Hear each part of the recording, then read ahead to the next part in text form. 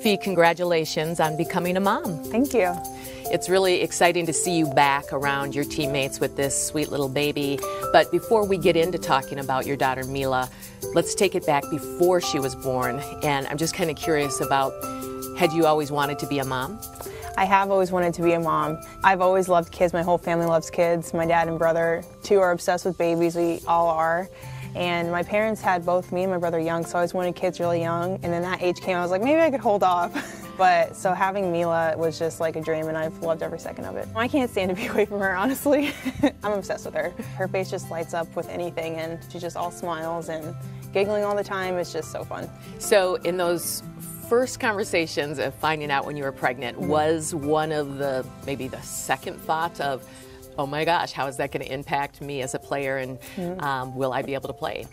Definitely, because basketball has been, you know, my main focus for so long. I definitely, obviously, thought about what's that going to look like. I called Cheryl the next day because I knew she was going to have to start planning. I knew she was going to have to start looking at what the season would look like. They've been great with everything because I probably wasn't going to be able to play, and if I did, it wasn't going to be, you know, my top self. So what does go into the mind of a professional athlete? Because I think that your profession is so rare mm-hmm. and so much of it relies on your body and being physical and being able to do the work you need to do. So, is there some angst and anxiety around that? So, funny enough, when I was pregnant, no, because I was like, I'm going to work out, I'm an athlete, I'm just going to pop her out and it'll be fine. I was delusional. That's not what happened at all. This is definitely the hardest thing my body's ever had to go through and the longest rehab that I've had. I'm still going through rehab, you know, eight months later to get my body back to where it was. Let's just talk a little bit about after Mila has arrived and setting basketball aside. What were some of those first moments and the first couple of weeks of having this brand new baby? Mm. Um, fear.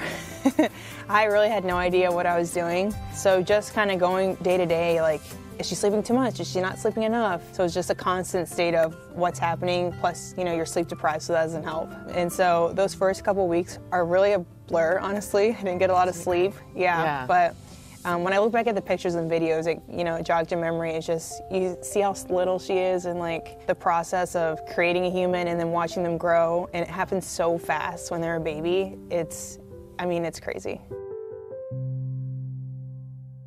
And a significant roster update tonight for the Lynx. In the starting five will be Napheesa Collier, activated for the first time this season. Last year, when you came back after having Mila, I know your big goal was to get back on that court again with Sylvia Fowles. You accomplished that goal. Tell us what that meant to you to do that. It meant so much just because Sylvia's given me so much in my time here, and she's been you know, she's the first person that brought me under her wing when I came to Minnesota, and she's such a prolific player. She's going to be in the Hall of Fame, and to have someone of that caliber kind of bring you in was just it was really special, and after that, I just saw what a wonderful person she was. I don't think there's a person who hasn't met Sylvia that doesn't like her, you know? I really just wanted to be with her for her last season, and I'm really thankful that I got to play, but even just being around her in this environment again was awesome. So I'm really happy that I was able to come back. So I think it was like 74 days later that yeah. after you had the baby that you came back, mm-hmm. which is is pretty remarkable. Even just thinking about trying to get back in shape after having a baby sounds like a lot to me. Mm-hmm. When you look back at it now, does it surprise you? Can you believe that you were able to do that?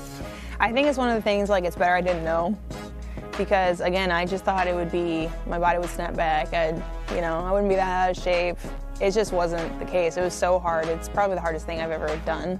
I wouldn't have rushed back even this time if it weren't for Sylvia. So I think next time, you know, I definitely am not going to do that same thing. But I'm happy things turned out the way that they did. I'm still happy that I got to be with Sylvia and the team this last year. So it's definitely hard, but it was worth it now that you're you're working out, you're getting ready for this upcoming season, what are some of the goals you have for yourself as you move into this new season? Well, I'm really excited because it's been several years since I've been able to actually like work on my game. You know, I was pregnant last year, the year before I was in France, right until games. The year before was COVID. So I'm really excited to be able to actually, you know, work on things for an extended period of time. Like I want to get better with threes, like doing them off the move, my ball handling, just things I see in my game that I want to improve on, and I have you know the time to do it now. As you are now a mother, have you thought about like how you want to show up in that role and and being a professional athlete, knowing that now Mila's going to be watching you and mm-hmm. kind of mm-hmm. what that means for you? Yeah, when I think about the future, like what kind of mother do I want to be? What values do I want to instill in her? And bringing her around the team, I think, is definitely going to be really instrumental in that because she's going to have so many aunts around her and so many people loving her, and she's going to watch me how hard I'm working for this career and how I'm I'm putting the family first, but I'm also doing things for me and how you can have a career and raise a family. So I feel like we're gonna grow up together in this sense too. Like she's gonna grow up watching me play, and I'm gonna grow up as a person and you know as a leader, as a mother, as just everything in this process. That's excellent. Well, congratulations. Um, it's gonna be fun watching you be a mom, and it's gonna be fun watching little Mila. is absolutely adorable. Thank you. So cute. Thank you so much Thank for you. chatting with us.